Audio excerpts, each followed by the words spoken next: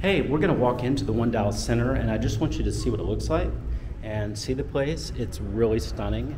Uh, it's definitely got a high rise feel, it's also got an art uh, kind of feel.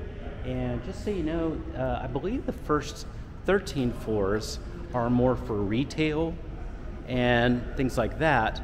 And then the apartments themselves start on the 14th floor. So this is more, you know, of a retail center and offices, uh, things like that.